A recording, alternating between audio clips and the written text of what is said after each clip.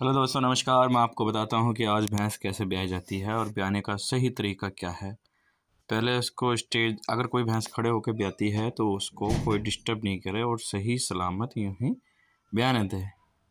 हम बताएँगे आपको कि नॉर्मल डिलीवरी कैसे और किस तरह से की जाती है और किन किन चीज़ों की ज़रूरत लगती है नॉर्मल डिलीवरी के लिए। ऐसे नहीं हो कि डिस्टोकिया प्रॉब्लम आ जाए या फिर यूट्रस में कोई दिक्कत आ जाए। अगर हम उसको हाथ लगाते हैं तो सेप्टिक बनने की डर रहती है। प्लेसेंटा वो रिमूव होने का डर रहता।